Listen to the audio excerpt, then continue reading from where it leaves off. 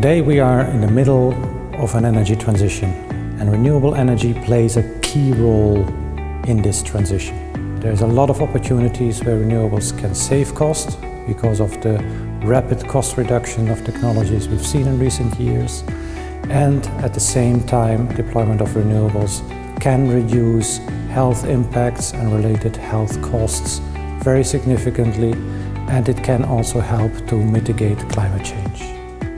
So we need more renewables now and in the future. The lecture series presents an important opportunity for IRENA to disseminate its findings to the general public.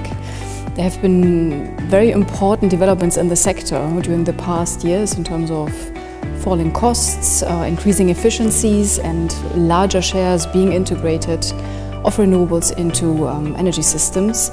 And for IRENA it's important to disseminate these facts. Um, uh, to present the current status as well as also where um, the sector is going.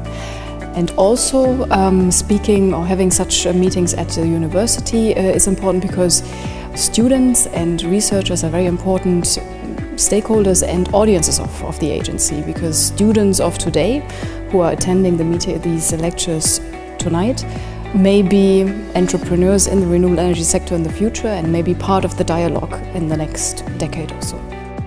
Of particular interest for us is to involve in the lecture series students from all kinds of fields.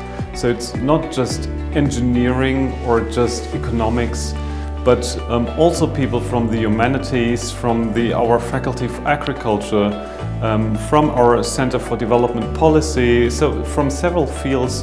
Um, and we, we, try to unite these people with regard to this one topic, sustainable, renewable energies.